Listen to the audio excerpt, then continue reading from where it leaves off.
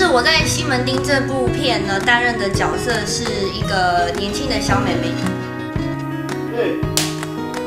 大学都念不完还留学哦，这样你也算得出来？那就我啊，来吧。其实个性跟我还蛮像的啦，就是呃，在别人的面前都是很乐观、很外向，但其实在自己一个人的时候呢，就会比较有内心的东西。搞不懂为什么你会喜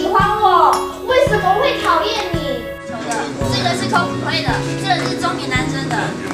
演这个角色对我来说呢，其实也算是挑战了，因为平常我在大档里面啊，其实我们演这些短剧什么的都是比较夸张类的。不要管他的反应就对了。先不管他，就是那个进来然后对啊。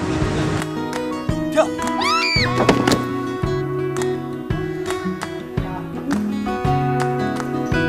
那在这部戏呢，我就变得要比较自然，所以，所以呃，我也是做很多功课，然后希望大家能够就是期待一下，然后可以去看看西门町，看看我的演出，因为我真的很认真哦。